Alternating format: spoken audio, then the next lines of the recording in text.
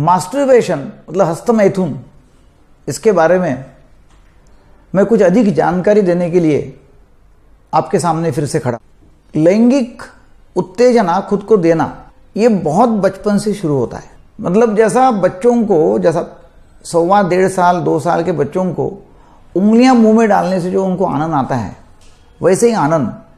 पंद्रह से उन्नीस महीने की उम्र में बच्चों को अपने लैंगिक पार्ट्स जो है, लैंगिक भाग जो है, शरीर के, उसको हाथ लगाने से उनको वहाँ से शुरुआत होती है। ऑल्फ्रेड किन्से, इन्होंने रिसर्च में ऐसा बताया कि सभी, लगभग सभी 100 परसेंट मेल्स, पुरुष और 75 परसेंट स्त्री, महिलाएँ, अपने जीवन में कभी ना कभी हस्तमैथुन या सेल्फ स्टिमुलेशन, मास्टरबेशन करती है।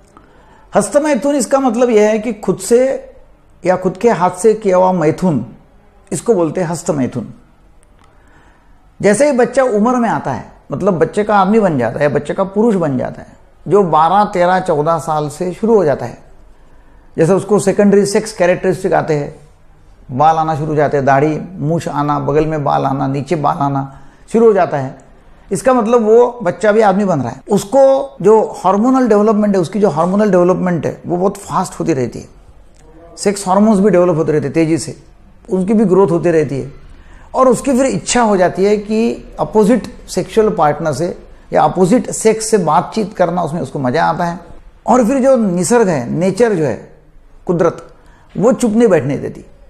वो कुछ ना कुछ वो करने के लिए उसको स्टिमुलेट करती रहती है। मतलब उतना उसको इतनी उत्तेजना आती है कि खुद के कपड़े भी घस गए, लैंगिक अवयवों को तो उसको उत्तेजना आती रहती। फिर उसको मालूम होता है कि अपने कपड़े यदि घस, घिसते हैं तो उसको उत्तेजना आती है अच्छा लगता है।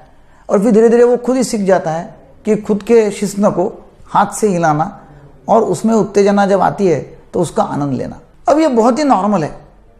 इसमें कुछ भी गलत नहीं है। हस्तमैथुन करना और सेक्स करना एक ही है। हस्तमैथुन में शिश्न ऐसा है और हाथ से ऊपर नीचे ऊपर नीचे ऐसा किया जाता है।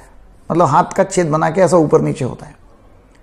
सेक्स में क्या होता है? सेक्स में शिश्न जो है वो ऊपर नीचे, अंदर बार अंदर बार होता है। हस्तमैथुन में भी वीर्य बाहर आता है। सेक्स में भी वीर्य बाहर आता है। इन शॉर्ट क्या है कि सेक्स जब करते हैं, तब वो और हस्तमैथुन ये दोनों प्रक्रिया सरीकी है। फ़र्क इतना ही है कि सेक्स करने के समय औरत पास में रहती है, साथ में रहती है। यहाँ अकेले आदमी मैथुन करते रहता है। मगर हमारे यहाँ जो गलत फहमियाँ हैं कि सेक्स, ये हस्तमैथुन करने से वीर्य बाहर निकलता है, वो अच्छा नहीं है। फिर लोगों को ये गलत फहमी है कि भी उसमें लैंगिक कमज़ोरी आती है, या मानसिक बीमारी आ सकती है हस्तमैथुन करने से, या डिप्रेशन आता है, या आगे फिर वो काम का नहीं रहता, वो आदमी नहीं रहता। ऐसे अलग अलग अलग फहमियाँ हैं। वीर्य हमने, वीर्य का नाश नहीं करना चाहिए। एक वीर्य का बुन वो अस्सी खून के, बूंद के बराबरी का है।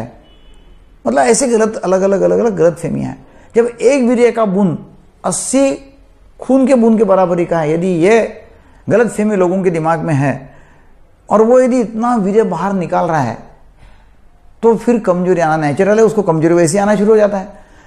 उसकी भूख कम हो जाती, खाना कम खाता गिल्ट लगता मेनली अपराधीपन की भावना की मैंने कुछ तो भी गलत किया है, अपराध किया हुआ है, ये अच्छा नहीं है। क्योंकि इसके बारे में साफ़ लोग बोलते नहीं है बाहर माँ बाप से कभी चर्चा होती नहीं है। वो अपने दोस्तों से बात करता है, बोलते हैं तूने गलत कर लिया अच्छा ऐसा नहीं है अच्छा अच्छा नहीं है, ऐसा मत कर, ऐसा बोले जाता है।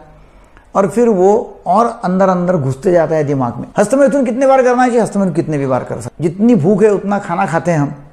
वैसे जितनी सेक्स की इच्छा होती है, जितने बार इच्छा हो जाती, उतने बार हस्तमैथुन कर सकते उसमें कोई गलत नहीं हस्तमैथुन कभी रोकने का नहीं, रोकने की ज़रूरत ही नहीं है।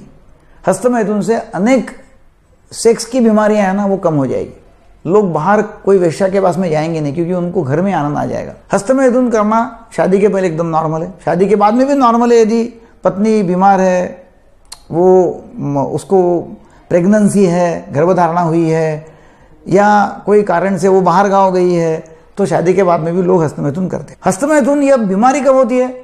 बीमारी इसलिए होती है, तब होती है कि जब उसकी इच्छा नहीं है, और इच्छा नहीं है तभी भी कंपल्सरीली उसको हस्तमैथुन करना ही पड़ता है, और उसमें आनंद आता नहीं है। तो वो होता है फिर ऑब्सेसिव कंपल्सिव डिसऑर्डर अदरवाइज़ हस्तमैथुन करना नॉर्मल है। हस्तमैथुन में कितना भी वीर्य गया तभी कोई प्रॉब्लम नहीं है। हस्तमैथुन से वीर्यनाश हुआ तभी कुछ प्रॉब्लम नहीं है। मैं हरदम ये बोलता हूँ कि शादी के बाद में वीर्य का नाश होता है, शादी के बाद का वीर्य भी नाली में जाता है। हस्तमैथुन का वीर्य भी नाली में जाता है। यदि वीर्यनाश होने से कमज़ोरी आती है तो शादी के बाद में सभी लोगों को कमज़ोरी आना चाहिए। वैसा होता नहीं है। जैसा बच्चा जो है, लड़का, वो पुरुष बन जाता है तो अंदर जो थैलियाँ हैं, लोगों को क्या लगता है कि अंदर बहुत बड़ा स्टोर हाउस है और वो स्टोर हाउस पूरा भरा हुआ है। यदि मैं खाली कर दूँ थैलिया तो फिर मैं आदमी में रहूँगा नहीं। ऐसा कुछ नहीं है। जो सीमेंट है, उसका मैन्युफैक्चरिंग जो है, वो होते रहता है। और जब सीमेंट का मैन्युफैक्चरिंग हरदम होते रहता है ट्वेंटी फोर बाय सेवन चालू रहता चालू रहता तो आपने कितना भी बाहर निकाला, तभी वो चालू रहेगा। यदि हस्त में तुम नहीं किया मास्टरबेशन नहीं किया तो वीर्य वैसा ही सपने में जाएगा, या शौच करने के समय लेट्रिन करने के समय वीर्य बाहर जाएगा, या पेशाब करने के समय वीर्य बाहर जाएगा। जब जब आप पेट के ऊपर प्रेशर देते हो तो प्रेशर से वीर्य बाहर जाएगा। या फिर कोई लड़की देखते हैं तो तब वीर्य बाहर जाएगा, उसको स्पर्मेटोरिय बोलते हैं। मतलब ऐसा कुछ ना कुछ कारणों की वीर्य बाहर जाने वाला है। वीर्य अंदर जमा करने के लिए कोई टैंक नहीं है, कोई बड़ी बड़ी थैलियाँ अंदर नहीं है कि वहाँ वीर्य जमा हो जाएगा और उसका नाश नहीं करना चाहिए, जमा करके रखना चाहिए, ऐसा भी कुछ नहीं तो हस्तमैथुन से जो अपराधीपन की भावना है, गिल्ट फीलिंग है, हस्तमैथुन करने से मेरा लिंग छोटा हो गया, टेढ़ा हो गया, ये जो लोग बोलते हैं, ये सब गलत फहमियाँ हैं।